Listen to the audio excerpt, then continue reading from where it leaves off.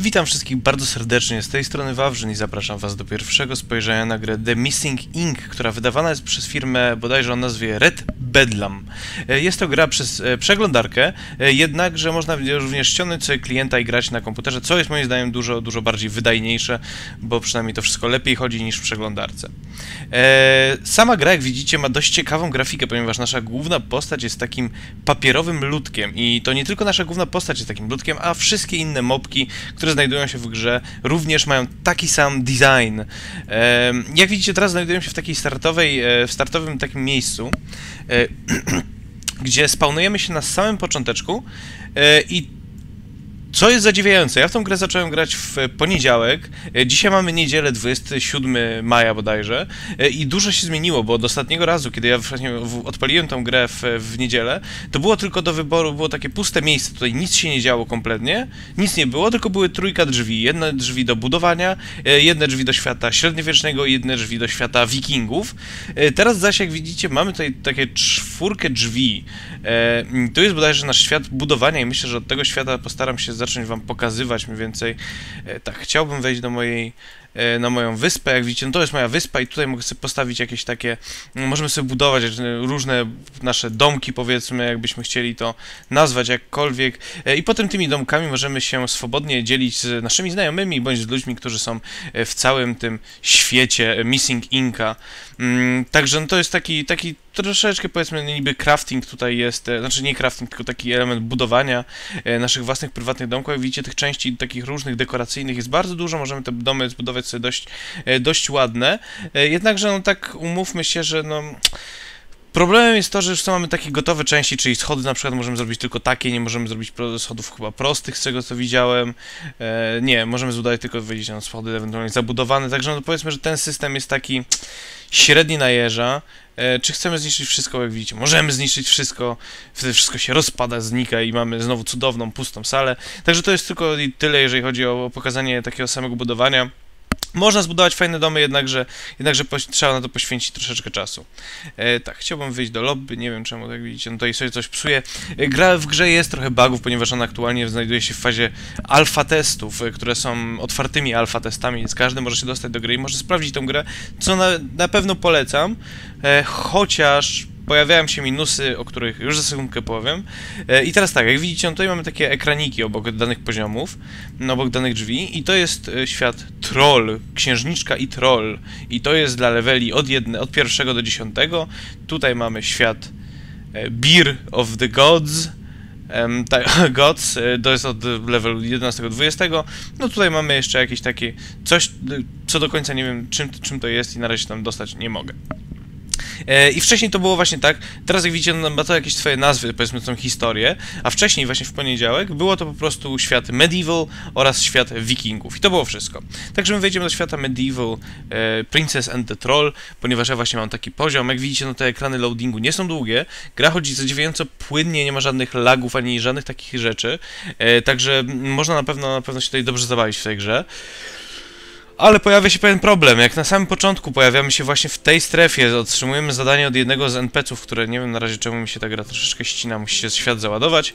Mm, e, otrzymujemy misję od jednego z tych NPC, którzy tutaj stoją, którzy już mi aktualnie teraz dali e, już misję. Mm, I naszym pierwszym zadaniem jest zabijanie właśnie tych, e, tych, tych tutaj, jak oni się nazywają? Stinglingi. E, I co jest bardzo denerwujące, to to, że ich jest strasznie dużo i one mają strasznie dalekie agro na nas. I one się rzucają z bardzo dalekiej odległości i nie daj Boże, jak znajdziemy się w miejscu, gdzie jest tych em, wszystkich ludków, powiedzmy pięć, oni wszyscy się na ciebie rzucają i na samym początku, jak nie mamy żadnego dobrego oręża, to nie jesteśmy w stanie się przed nimi obronić. I wtedy stajemy na początku. No ja zginąłem na samym początku chyba z 7 albo 8 razy, zanim zabiłem 5 tych mobków, bo tak to mnie dobijali, bo to był taki, no brzydko mówiąc, mm, naskok na mnie, e, taki, taki dość, dość solidny. Jak zginiemy, po, wtedy spa- respawnujemy się na tamtym cmentarzu, więc to jest jeszcze problem, żeby wrócić z tego cmentarza tutaj, to również musimy się przebić przez hordy tych, tych stinglingów i wtedy też się pojawia problem. E, teraz powiedzmy o sa- samej grafice. Moim zdaniem grafika jest bardzo przyjemna dla oka. Jest sam system tego, że są wycie, wycięte tekturowe ludki jest bardzo interesujący. Sama budowla, same budowle i cały jakby powiedzmy teren, może nie jest to grafika najwyższych lotów, jednakże moim zdaniem bardzo dobrze pasuje do, do tego wyglądu, tego co tutaj się prezentuje. Teraz wam pokażę sam interfejs, ponieważ no, walka jak widzieliście nie jest jakaś bardzo rozbudowana. Jak widzicie, no, tu jest mój pasek skilli, tu jest pasek z życia, więc ja mam aktualnie trzeci poziom, tu jest pasek skilli. Skille zależne są od tego, co posiadamy w naszym inventory. E, I jak widzicie, teraz ja tak, bo ja mam tutaj wrzucony na siebie ten Wooden Charm, e, który mi daje skilla, który że wraca, mm, regeneruje mi 28 życia.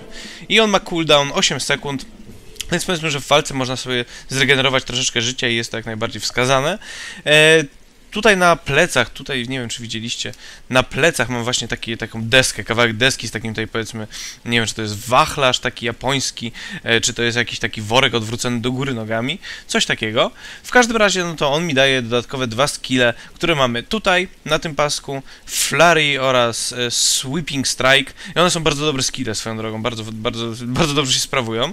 No i mam akurat broń, mam ze sobą młot, który mi daje też jednego skilla. Jednakże, jak widzicie, tutaj są różne inne bronie i o, akurat dobry znalazłem topór, który jak tutaj go equipujemy, to zmieniają mi się skille i wtedy mogę używać tych skilli, tamte tracę. Czyli jest to taki, moim zdaniem, bardzo fajny system multiklasowości, że w zależności od tego, co akurat będziemy chcieli mieć na sobie, e, jaką postacią będziemy chcieli być, czy chcemy, będziemy chcieli być supporterem, czy będziemy chcieli być mm, jakimś, powiedzmy, właśnie walczącym pistoletami, e, chłopaczkiem, to wtedy możemy po prostu wymieniać bronię i ewentualnie te deski z tyłu e, i one dają nam odpowiednie skille, bo tak to nie, my sami nie rozlokowujemy żadnych stat pointów e, do swojej postaci. E, Kustomizacja postaci, widzicie, odbywa się w dość taki... E, no niestety na razie nie mam żadnych awatarów. Za każde skończenie każdego rozdziału, powiedzmy, dostajemy nowe awatary do wyboru. E, I no, jak widzicie, kustomizacja, powiedzmy, nie jest na najwyższych lotów, ale jednakże można sobie znaleźć jakąś postać, powiedzmy, dla siebie. My akurat, powiedzmy, teraz wybiorę Wiktora i będziemy takim Wiktorem. Mm, tutaj jest crafting, niestety crafting na razie jest niedostępny w, w wersji alfa. E, Tutaj akurat mamy questy, które wykonujemy, no to jest taki quest log. E, Nie ma, nie ma żadnego quest trackera, jednakże jeżeli zaznaczymy, że chcemy wykonywać właśnie tego questa, to wtedy odpala nam się mapka i pokazuje nam, gdzie dane mopki bądź danego NPC jesteśmy w stanie znaleźć, co jest moim zdaniem też bardzo fajnym wyjściem. No tak, tu są questy, tu jest mapa, która jak widzicie, no mapa, na razie są tak naprawdę do wyboru dwie mapy, właśnie no mapa Medieval oraz mapa Wikingów, jednakże one są na tyle duże, że przejście z jednego końca mapy na drugi zajmuje nam dość sporo czasu. Z tego co widziałem, to na razie nie ma mountów. E, tu mamy listę przyjaciół, zablokowanych, wiadomości oraz ustawienia, które powiedzmy sobie szczerze nie są jakieś bardzo rozwinięte, chociaż tutaj widzę, że w tej wersji ściągniętej są dużo lepsze, jest dużo więcej opcji do wyboru niż, niż tej wersji e, przeglądarkowej, dlatego jeszcze raz polecam wersję klientową, e, ponieważ wersja klientowa jest dużo lepsza. Tak naprawdę nie ma co dużo rozwodzić więcej na temat tej gry. E, jedynym minusem, który jest bardzo uciążliwy, jest to, że tak naprawdę nie wiem do końca jak działają te plansze. Wydaje mi się, że dany świat powinien być pełen graczy innych. E, chyba, że ta gra polega tylko i wyłącznie na tym, że dzielimy się swoimi zbudowanymi domkami. Jednakże wydaje mi się, że powinni być tacy gracze, co jest smutne, tych graczy nie ma.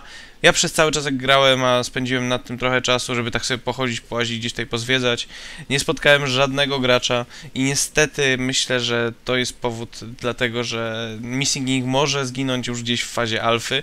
Chociaż z tego, co, z tego, co wcześniej mówiłem, to deweloperzy, jak widać, starają się e, na temat tego, żeby, żeby tą grę jakoś tam, powiedzmy, usprawnić i żeby ta gra jakoś sensownie w miarę wyglądała. E, No i teraz właśnie widzicie, no tu jest taka duża grupa tych stinglingów, no i teraz muszę podejść w jakiś taki sensowny sposób, żeby tylko jeden się na mnie rzucił i że dopiero o, i tak się rzucili na mnie dwaj. Także no to jest na takiej zasadzie. Animacja skilli jest powiedzmy, no pozostawia trochę do życzenia. No niestety, no to nie jest gra najwyższych lotów, aczkolwiek jest na tyle przyjemna, że warto ją sprawdzić, głównie przez, przez grafikę, którą, mm, przez grafikę, którą sobą prezentuje. E, Inwentory jest na tyle duży, że możemy sobie swobodnie pozwolić na to, żeby tutaj jak najwięcej rzeczy ze sobą mieć. Potem możemy je sprzedawać u NPC-ów. I tak naprawdę to jest tyle, jeżeli chodzi o grę The Missing Ink. Warto ją sprawdzić, nawet w przeglądarce, e, tylko po to, żeby, żeby zobaczyć, czy, czy, czy warto czekać na, pełną, na pełne wydanie tej gry, które mam nadzieję, że wtedy troszeczkę więcej będzie miało e, graczy.